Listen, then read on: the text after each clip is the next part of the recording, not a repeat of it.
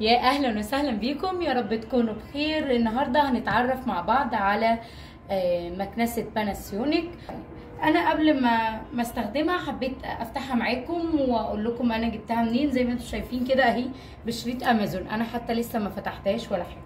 وبرده هقول لكم بعد ما أستخدمها. يعني الفيديو ده هيبقى مقسوم جزئين. هنتعرف على المكونات بتاعتها. وزي ما قلت لكم كل شكار لي في المكنسة ديت آه أنا هقول لكم الموديل أول حاجة قبل ما نفتح كده الكرتونة أنا جبت ال 2100 واط. وحتى اللي جايب ال 1900 أو ال 2000 بيشكر فيها. وهو يفضل عموما آه لو أنت عندك تراب كتير آه، أو عايزة تنجزي يعني ما تقليش عن ال 1900 في سواء في أي نوع مكنسة آه، الموديل بتاعها اسمه MC شرطة سي جي 715 تمام؟ طيب. أول حاجة أنا هفتحها أهو معاكم.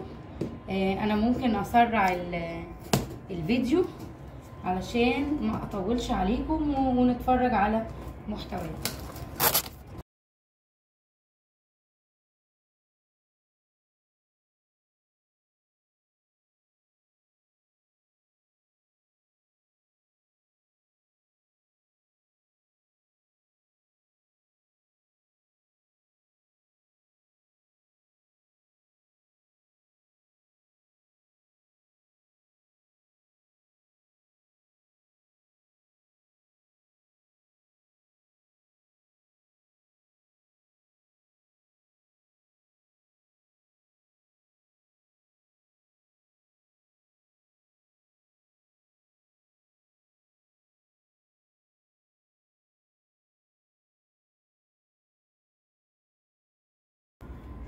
آه بالنسبة لطريقة تركيبها سهلة جدا آه بالنسبة للكوع الجزء ده هو اللي بيركب هنا هو في المكنسة طيب أنا عندي لو أنتوا تلاحظوا الجزء ده بيتضغط. ده لازمته إيه؟ لما أجي أحطها كده. طيب أنا حبيت أشيلها. لا هي مش عافية. أنا بضغط بالجزء ده أهو بتطلع معايا. تمام؟ دي أول حاجة. طيب لو أنا حبيت بس هركب فيها إيه؟ أنا بركب الخرطوم. وألاقي زي تعشيقة فيها أهي اللي بتدخل في الفتحات دي. يعني أهي كده شايفين لازم أتأكد إني دخلت جوه الكليبستين بقى الجزء ده زي ما قلنا بيركب هنا. طيب هاجي بقى للجزء ده. أهو. الجزء ده برضو ليه زي كلبستين وهما برضو بيجوا في الفتحات دي. فأنا هاجي أدخلها.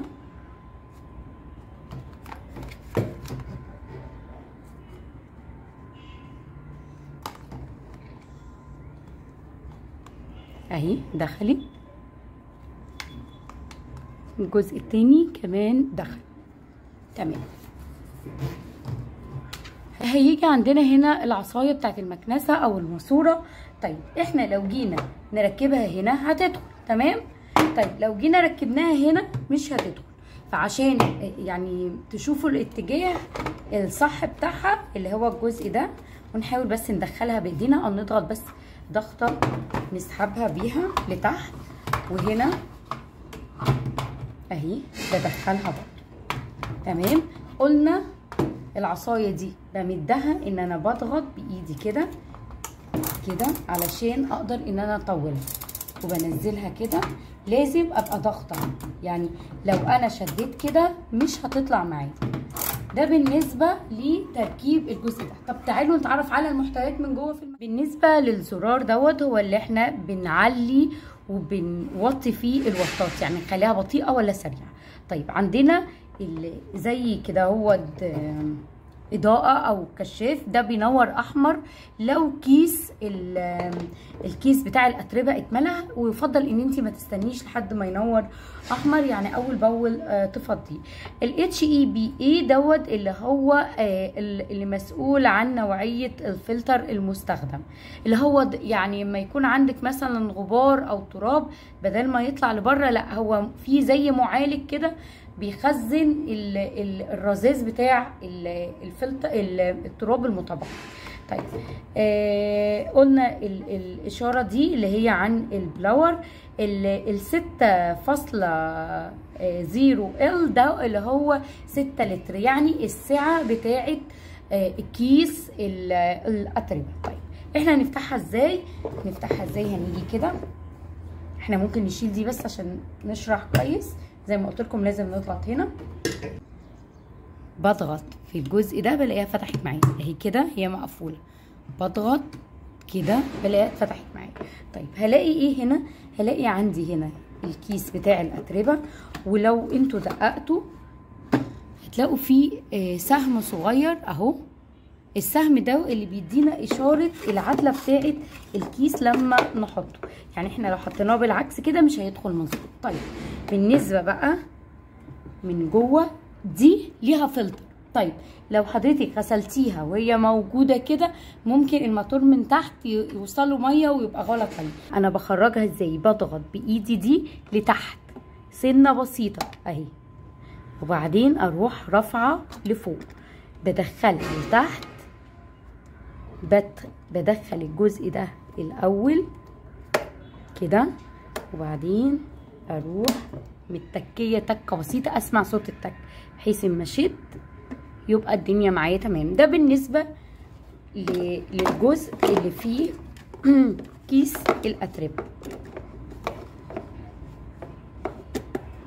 تمام؟ وابتدي إن أنا أقفلها كده. بالنسبة للجزء اللي ورا أنا عندي هنا مكان السلك والسلك طويل خمسة متر تقريبا. في عندي هنا فتحة تاني بتدخل الجزء اللي أنا بدخله هنا. بدخله هنا. بالنسبة للجزء دوت أنا لو ضغطت عليه كده وشديته يعني طلعته لبره بلاقي زي برضو فلتر. دوت أنا يفضل إن انت تعمليه بفرشة مش تغسليه. ودوت كل فين وفين كل فترة يعني مش مش محتاجة برضو كل فترة قليلة. طبعا الجزء ده اللي أنا بشد بيه السلك وهتلاقوا علامة السلك باينة. يعني أنا لما بشد كده بمسك من الجزء ده وبضغط بيتسحب معايا. طيب ده جزء الباور اللي بشغل منه. المكنسة دي في منها نوعين في الماليزي وفي يعني الصناعة بتاعته. ده اللي أنا جايباه ماليزي وفي الياباني. طبعا الياباني أفضل لكن أغلى. يعني ضعف ده كمان في السعر. هي هي نفس الشركة بس الموتور بتاعها الياباني. قدرت تجيب الياباني تمام هو الأفضل لكن ديت مش وحشة. طبعا فيها زي ما أنتم شايفين عجل كده من هنا ومن هنا عشان يبقى سهلة آه في الحركة معاكي. والف مبروك لو انت بتشتريها وربنا يوسع الكل ويجيبوا أحسن حاجة. يا رب أكون فدتكم في الفيديو. يلا بينا نشوفها وهي آه وأنا شغاله بيها. آه ودلوقتي هنجرب مع بعض قوة الشفط بتاعتها. بصوا أنا خليتها هنا أبطأ حاجة. أنا عايزة أقول لكم أنا جربتها. الأبطأ حاجة يعني عايزة أقول لكم بتشفط. ما بالكم بقى ال ال الشديد قوة الشفط هتنجزك يعني في الشقة كلها مش هتاخدي 10 10 دقائق آه طيب إحنا ال power بتاعنا زي ما قلنا في الجزء ده. وهنشوف بعد ما نخلص هنثبتها إزاي. تمام؟ طيب أنا هشغل دلوقتي أهو زرار الباور. وزي ما قلت لكم أنا عاملة أبطأ حاجة. لأني أعلى حاجة كده. إحنا هنشتغل الأول على أبطأ حاجة. هشغل أهو الزرار. بصوا أنا حطيت أهو شوية حاجات. عايزة أقول لكم بتلزق في السجاده أهي. يعني عن تجربة ممتازة. أنا مع أهو.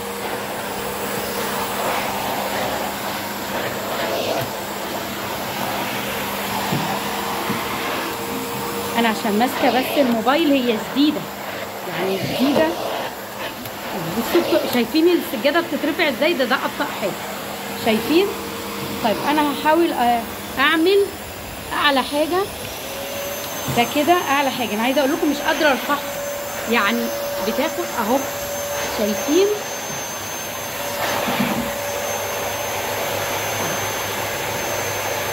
يعني يعني بتاخد ال ال السجادة معايا. اهي بصوا شايفين بترفع السجادة إزاي؟ من قوة الشفط بتاعتها. فعايزة عضلات يعني.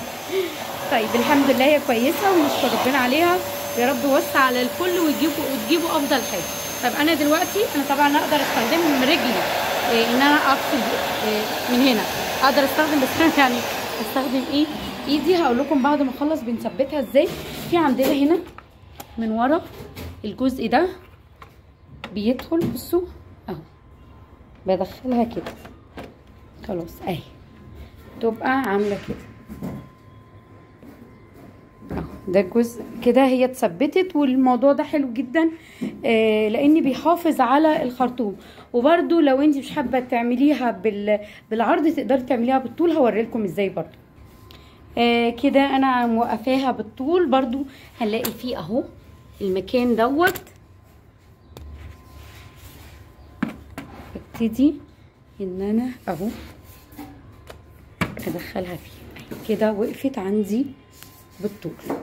بالنسبة لسعر المكنسة ديت آه أنا كنت سأل عليها كانت عاملة آه 3000 آه آه كانت حاليا عاملة في عروض ال Black Friday من أمازون آه جبتها ب 2430 فده بالنسبة للسعر المتواجد في السوق سعر ممتاز. معرفش بقى آه هي قبل كده كان بكام أو بعد كده بكام بس أنا جبتها حاليا ب 2430 أتمنى يكون الفيديو فاتكم وشملت لكم كل شيء عايزين تعرفوه. قبل ما أقفل الفيديو حابة أقول لكم الجزئين ده ده بنستخدمه للستاير ودوت لو في أماكن مثلا عندك في الأنتريه أو أماكن في الألمونتان ضيقة أو أي أماكن صغيرة هي بتوصل شايفين أو تحت النيش مثلا. أهو إن إحنا بنركبها بدال الجزء ده. بيركب ويجيب لك كل الأتربة اللي انت مش قادرة يعني تنفضيها بسهولة. تمام؟ يا رب أكون خفيفة عليكم في نهاية الفيديو وأكون يعني عملت لكم review كامل أو كل حاجة حابين تعرفوها. لو في أي حاجة أنا ما وضحتهاش أو نسيت أقولها يا ريت تكتبوا لي في التعليقات وهحاول إن أنا أرد على كل تعليقاتكم. مع ألف ألف سلامة. bye bye.